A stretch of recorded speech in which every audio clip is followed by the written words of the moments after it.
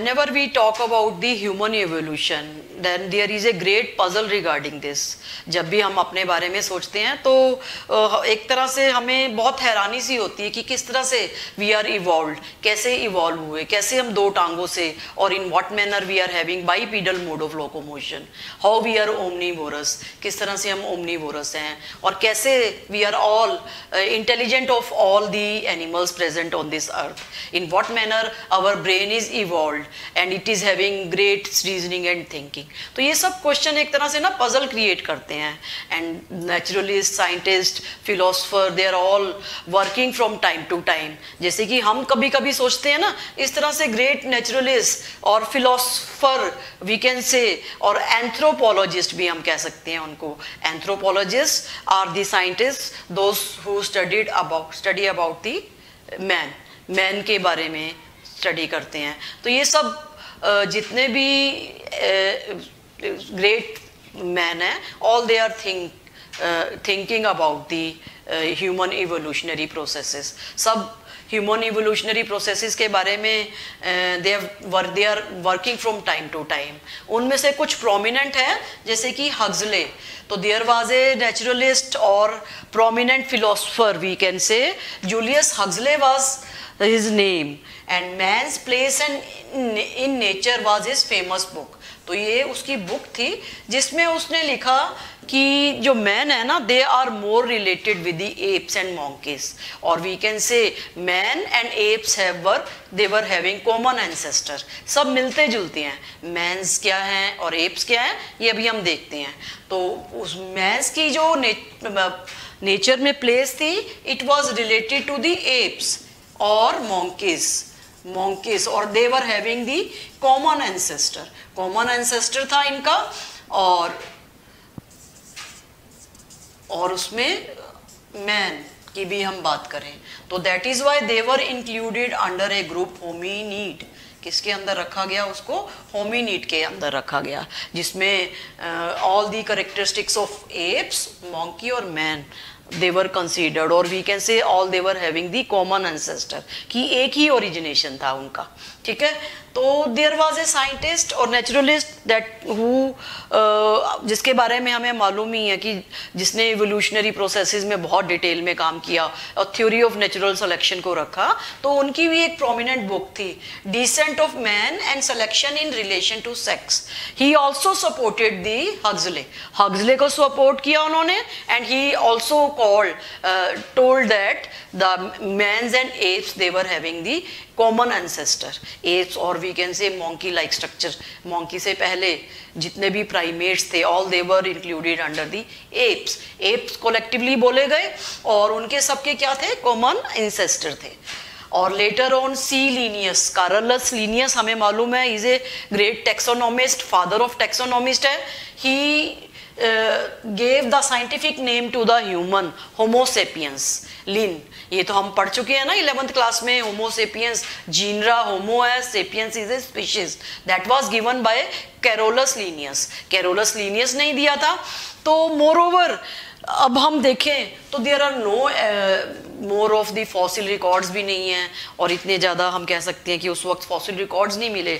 But scientist they were doing their great efforts from time to time अपने efforts तो वो कर ही रहे थे ह्यूमन इवोल्यूशन के बारे में कि कहाँ से ये इवोल्यूशनरी प्रोसेसेस स्टार्ट हुए।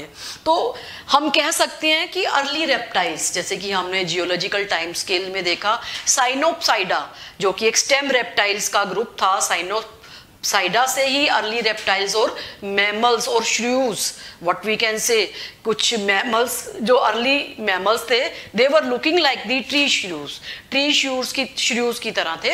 And two one zero millions years ago they were present on the earth and they were living on the trees arboreal थे नोक्टर्नल थे and they were insectivorous insectivorous थे. तो वो उस वक्त थे, जो अर्लियर श्रू थे ना, जो tree shrews they were earlier mammals और जब भी वो श्रूज बने, उसके बाद what happen they survive on the earth for many millions of years वो तक उनने सर्वाइव किया अर्थ पर and when the dinosaurs came down और डायनासोर्स जो लार्ज साइज़ क्रिएचर थे जोरेसिक पीरियड में जो डोमिनेंट थे, और क्रिटेशियस में देवर ऑल एक्सटिंक्ट जब वो एक्सटिंक्ट हो गए तो श्रूज डिफरेंट डायरेक्शंस में मैमल्स की डायरेक्शंस में इवॉल्व हुए। तो हम कह सकते हैं कि earlier we were evolve from the reptiles कौन सा ग्रुप था? साइनोप्सीडा ये हम कर चुके हैं, हम पहले देख चुके हैं जियोलॉजिकल टाइम स्केल के अकॉर्डिंगली और वहाँ से ही अर्लियर मैमल्स इवॉल्व हुए। देवर ट्री श्रूज ठीक है ना? ट्री श्रूज थे और उन ट्री श्रूज की डाइवर्सिफिकेशन हुई मैमल्स में डिफरेंट ग्रुप्स में। After the extinction of the dinosaurs dinosaurs जब एक्सटिंक्ट हो चुके थे, तब श्रूज डिफरेंट डायरेक्शंस में डाइवर्सिफाई हुए और अलग अलग दिशाओं में उनके वो बढ़े। और अगर हम ह्यूमन एवोल्यूशन की बात करें ना तो we are all based all these processes are based on the palaeontologies कुछ तो बाद में फॉसिल रिकॉर्ड मिले और मॉलिक्यूलर फाइलोजेनी मॉलिक्यूलर बेसिस पर भी इनको देखा गया। यानी कि जितने भी हम, अभी हम मेंबर्स के बारे में स्टार्ट करेंगे ना पढ़ना there all we all found the bones उनकी हमें कुछ बोन्स मिली डिफरेंट रीजन्स में। And anthropologist they were studying all about this anthropologist क्या होते हैं? Anthropologist the scientist who study about study about human evolution human evolution and there is a science which is called the anthropology anthropology is study of human or study of man जिसमें man की सब study आती है किस तरह से evolve हुए और in what manner they are related to each other इसमें सब पैलेंटोलॉजिकल रिकॉर्ड्स देखते हैं एंड मॉलिक्यूलर एविडेंसेस बहुत सारे मिले हैं, जैसे कि DNA variations are found more in South African regions तो साउथ अफ्रीकन रीजन को हम बोला, माना जाता है कि साउथ अफ्रीका में ह्यूमन की ओरिजिनेशन हुई सबसे पहले।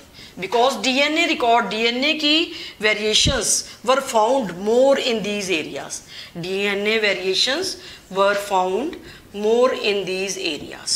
तो ये तो अब हम देखेंगे साउथ अफ्रीकन जंगल्स में कौन कौन से ग्रुप्स इवॉल्व हुए। उससे पहले हमें जानना ज़रूरी है कि किस तरह से ह्यूमन की classification and how they are related with what we can say ape से वो हमें कैसे वो मिलते जुलते हैं। जैसे कि हम कहते हैं ना we are all originated from the primates primates क्या आते हैं? जैसे कि uh, अगर हम बात करें this is a chain this is a chain of some primates have been given primates और अर्ली जो मोंकी लाइक ग्रुप्स थे, जो स्टार्टिंग में आए और जिन्होंने ह्यूमन बींग को आगे इवॉल्व किया ऑल दे कम अंडर किसमें आते हैं? प्राइमेट्स में आते हैं। तो ये प्राइमेट्स के डिफरेंट ग्रुप्स दिए गए हैं। सबसे पहले तो प्रोसाइमियंस आए और एंथ्रोपॉइड प्रोसाइमियंस बिफोर मोंकीज सबसे पहले जो प्राइमेट से भी पहले जो जिन्होंने प्राइमेट्स को ओरिजिनेट किया तो they were all included into the prosimians tree पर रहने वाले थे ट्री डिवेलिंग थे और they were having mostly living on the trees and they were omnivorous also. And what were their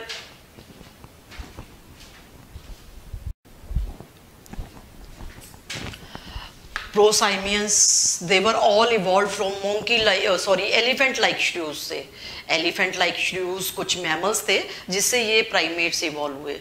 और ऑल जो श्रूज जो स्टार्टिंग में इंसेक्टिवोरस थे, इनकी कुछ फीडिंग मोड ऑफ़ हैबिटेट कुछ ज़्यादा इतना बुक्स में नहीं दिया गया बट वी कैन से कि they were came these prosimians they came before monkey और मोंकी की तरह ही नज़र आते थे। और ये किससे इवॉल्व हुए थे? एलिफेंट लाइक श्रूज से। And all they are having जिसको हम लेम्यूर्स इनके सब ग्रुप्स में देखें ना लोराइसिस एंड टार्सियस दे केम ये वैसे इतना ज़्यादा ज़रूरी नहीं है, लेकिन हमें एक स्टार्टिंग पॉइंट ओरिजिनेशन पता होना चाहिए कि हम मैमल से कैसे आए।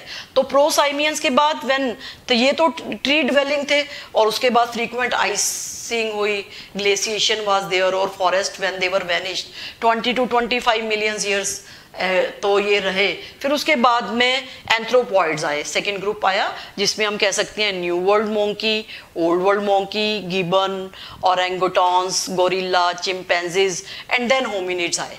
होमिनिड्स जिसमें एप मोंकी और हम कह सकते हैं उनका एंसेस्टर एप्स का मोंकीज का, और मैन का ancestor they were all having the same same he ancestor थे।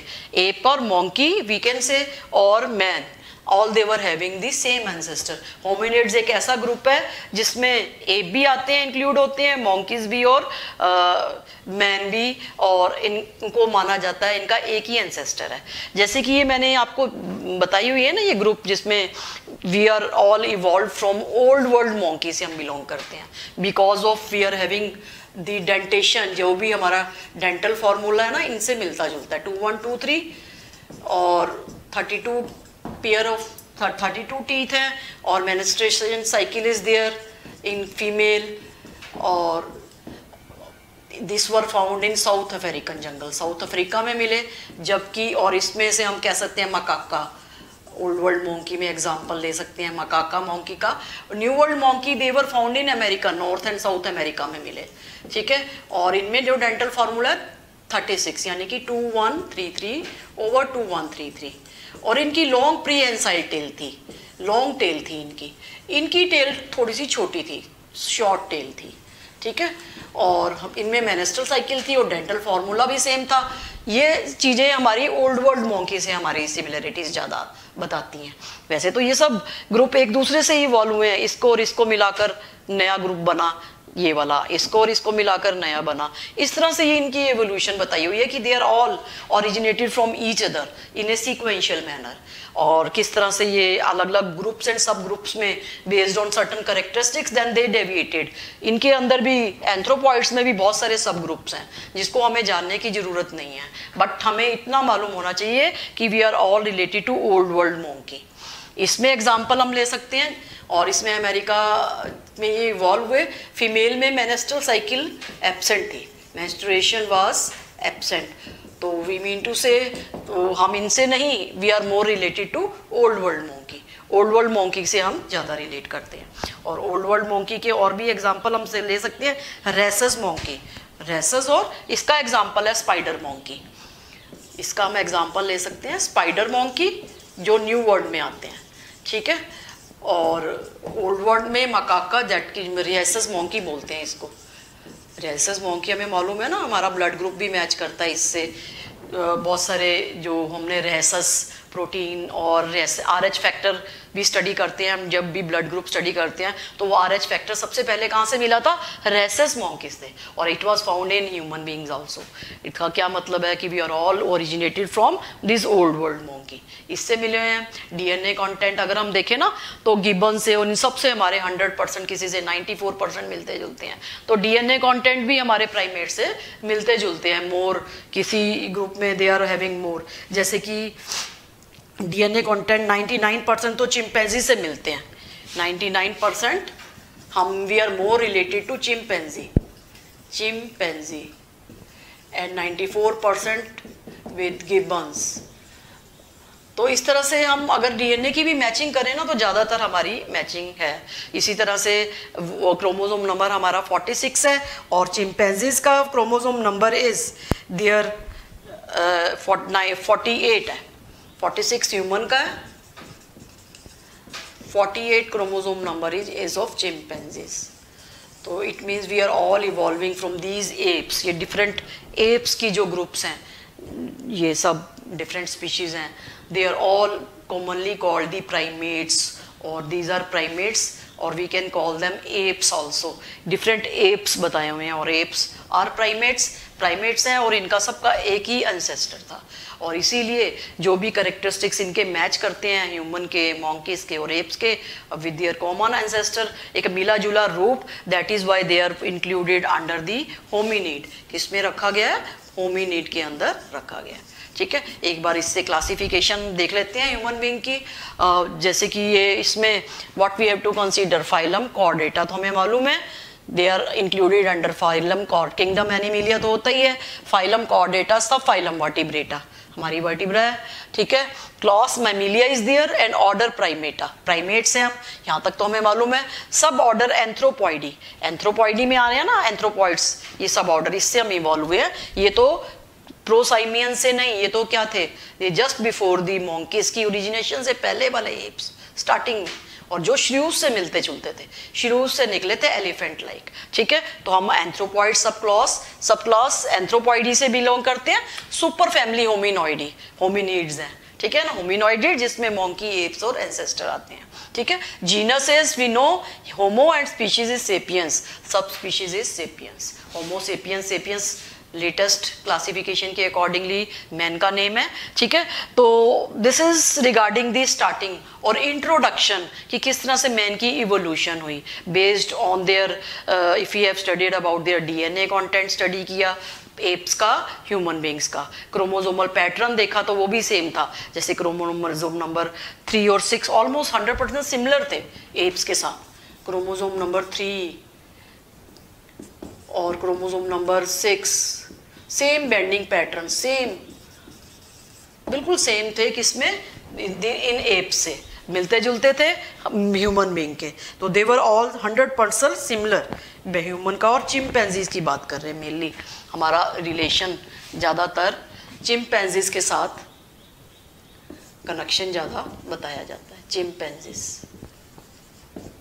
क्लियर सो अब हम स्टार्ट करने जा रहे हैं। The most important part of human evolution और किस तरह से डिफरेंट ग्रुप्स कैसे स्टार्ट हुए? जैसे कि स्टार्टिंग में ड्रायोपथिकस आया, कहाँ से आया?